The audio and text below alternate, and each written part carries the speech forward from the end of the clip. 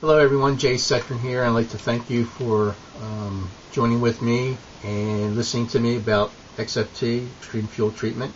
Okay, that's the green packet that you've all seen.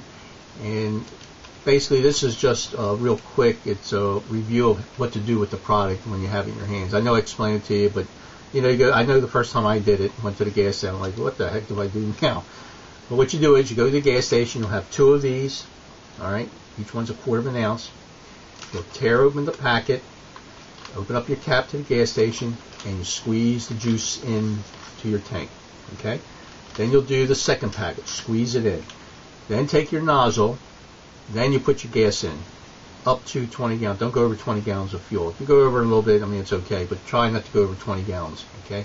If you got a 25 gallon tank, 30, try just to go up to 20 gallons only. Okay?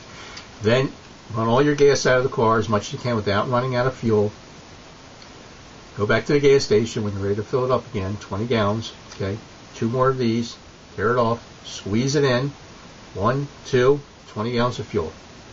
Take your car, drive it again, have fun, get down to almost empty. Then you'll do the same thing a third time, all right? And I would recommend doing it a fourth time, um, double dosing it.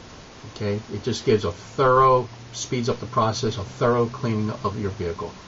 Then after the fourth time, then you'll just put single packets in. Now the single, each packet is a quarter of an ounce. 20 gallons is treated when you put the fuel in there, but it also, the company gives you a little extra product in there, which is 26 gallons. Um, that's in case you know you don't get it all out, or in case you maybe dribble a little something on the ground. Who knows what happens? But they do put a little. They found that putting a little extra it helps. Okay. Um, later on, you don't want to do the packets anymore, it does come in bottles, one ounce, two ounce, four ounce bottles, so on and so forth. So that's how you put the product in. Take your time, don't rush it. Leave these in your car. Don't take it in your house. Oops, I forgot. Uh, don't leave it on the on the chair at your house. Oops, I left it outside. Just leave it in your glove box. It, you know, the heat, the temperature, cold, nothing bothers it.